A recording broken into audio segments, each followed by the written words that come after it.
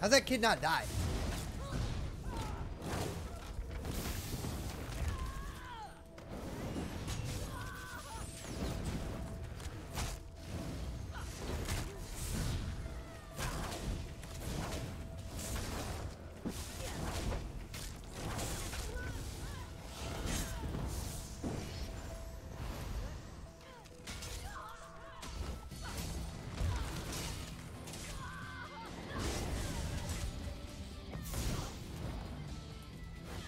Let's and get you guys all in one little spot.